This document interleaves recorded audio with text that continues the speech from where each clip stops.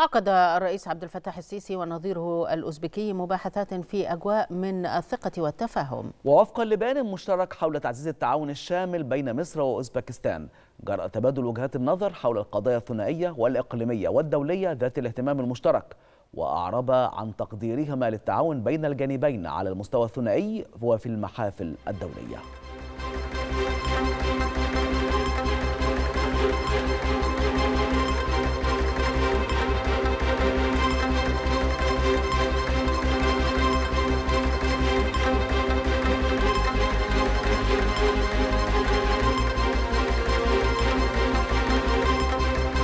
Thank you.